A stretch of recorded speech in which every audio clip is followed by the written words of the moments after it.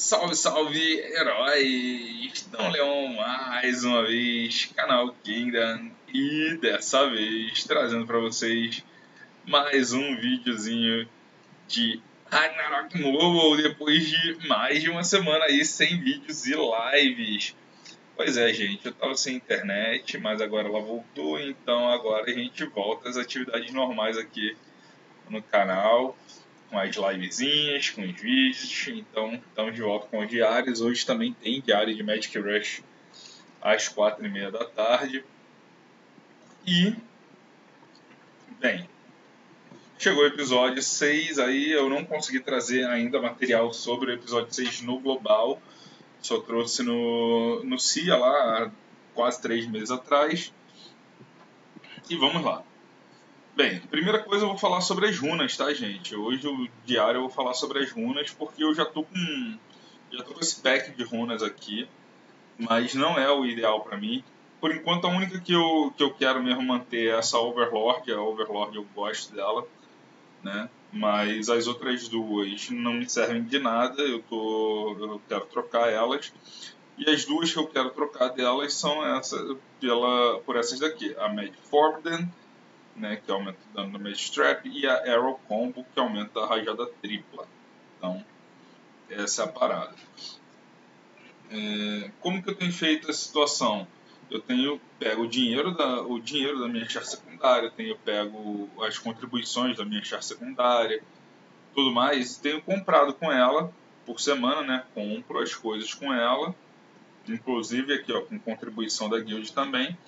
Tenho comprado e passo para o meu char principal. Pode passar isso pela cafra, então passo para o char principal, abro com ele está tudo certo. E aí nisso vocês podem até ver aqui também nas minhas runas que as runas já estão pegando níveis, né? Tem uma runa aqui nível 3, que, é, que dá redução de, de ataque mágico e redução de auto-ataque. Eu também tenho a Dex aqui que está com, com nível 2, ou seja, está pegando 2 Dex, está aumentando 0.4% em todas as raças e em todos os monstros.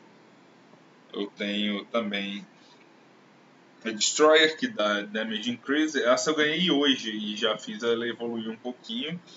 Quero evoluir mais ainda ela. É, tenho a Armor que me dá ignorar defesa, que também é muito bom.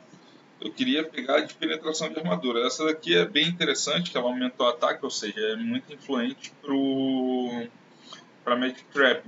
Mas eu estou preferindo é, ignorar defesa e se aparecer de penetração de armadura, provavelmente eu tire a, a, a de ignorar defesa. Também tem aqui nas de defesa, essa aqui eu não uso. Essa daqui não, calma aí. Agora eu não lembro qual é que eu não uso. Ah tá, eu estou usando a Steel para aumentar aqui a resistência né, de, de habilidades. Qual é a outra que eu estou? Eu estou utilizando três. Ah, eu também estou utilizando essa daqui. Eu nem sei por que, que eu estou utilizando essa daqui. Ah, é por conta da M-Dash, tá, tudo bem. Mas tipo, ele reduz dano neutro e dano de, de propriedades que não sejam as básicas, né? Então, assim, ainda tô, tô montando direitinho, fazendo os estudos do que vai cair para mim direito e tudo mais. Mas tô, tô desenvolvendo, tô desenvolvendo bem e conseguindo fazer bastante dinheiro também. A conta tá desenvolvendo muito bem, vocês podem ver aqui como é que tá. É, eu tô com os encantamentos, né? 120 aqui, tô com 101 aqui e 96 aqui. Ainda tô com 1kk sobrando, mas ainda não comecei a investir na casa. Eu preciso começar a investir na casa para para poder realmente valer a pena, né? Que aí com a casa eu começo a ganhar alguns outros ou alguns outros benefícios. Então, ainda não, não fiz o desenvolvimento da casa, vocês podem ver até aqui ó, que eu estou com a quest disponibilizada. Eu tenho que fazer as outras quests também de matar bichinho. Mas tá interessante. Eu já, fiz, já fui a, a Lighthouse, fui a Lighthouse ontem. O episódio chegou na quinta-feira e eu só fui a Lighthouse ontem, domingo. Acabei fazendo a quest da Sênia. É...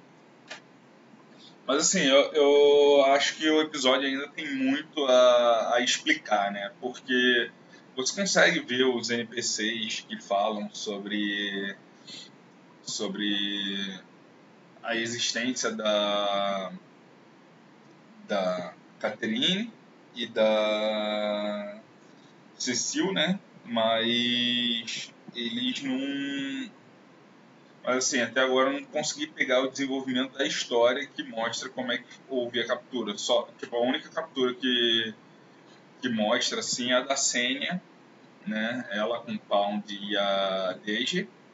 E a e a Deji foi sacrificada, né? Uh, eu ainda não entendi o que, que aconteceu com a Sênia, porque o Pound ele foge. Tipo, assim que a Sênia quebra a maldição nele, ele foge. Ele tá com o peito aberto, mas ele foge, consegue fugir. A Sênia tenta salvar ainda desde, mas na hora que que vai que ela tá conseguindo reabilitar desde, eles pegam uh, tanto a Desde quanto a Sênia. E aí, bem, tem a, eu já tirei até a foto, já tirei até a foto delas duas né, da, da forma demoníaca delas. É aqui mesmo. Da Lightning House. Tá aqui. A Deji. Né? E. Cadê? A Sênia. Ops, não, a Sênia. Sênia. Certo? Então já, já tirei as as devidas fotinhas delas. É, eu não tirei a foto da Sênia, ah, que interessante, eu matei e não tirei a foto. Eu tenho a foto da Catherine, tenho a foto do Eremes também, mas não consegui achar a Cecil ainda para tirar a foto dela. Aliás, eu até achei a Cecil na torre, mas esqueci de bater a foto dela. E agora, quando esse episódio 6 chegou algumas coisinhas meio, meio estúpidas também, mano. Que eu fiquei assim, porra, mano, o jogo tá de sacanagem. E tipo, lançaram o Despachar Morto-Vivo, mano. Porra, tão de sacanagem? O bicho já, já é escroto de você conseguir matar ele. Porque o bicho tem uma resistência do caramba. Já é escroto de você matar ele na fase normal, imagina ele morto-vivo agora.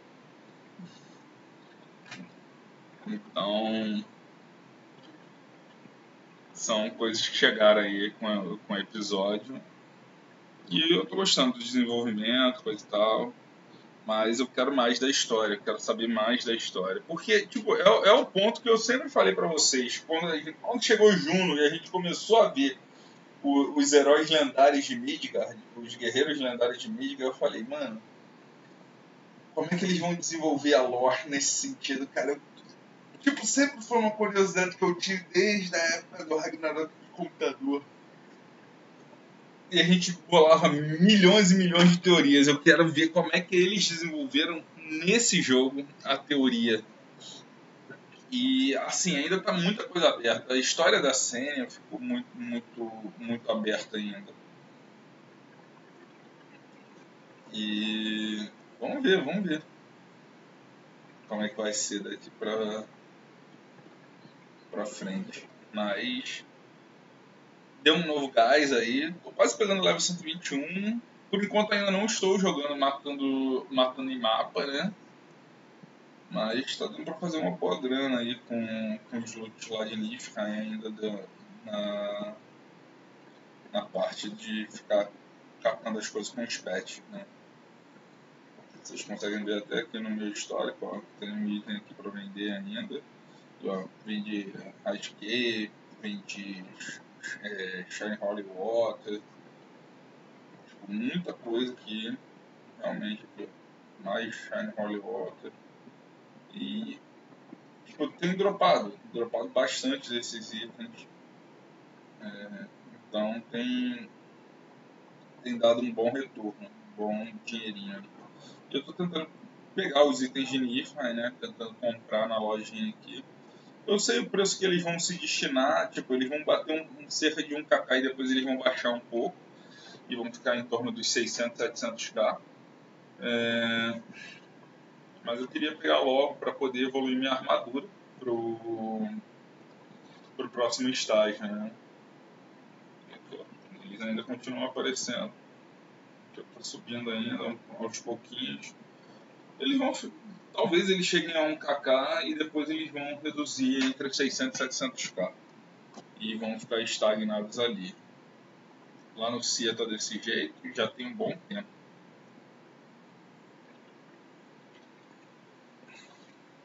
Bem, basicamente é isso então, galera.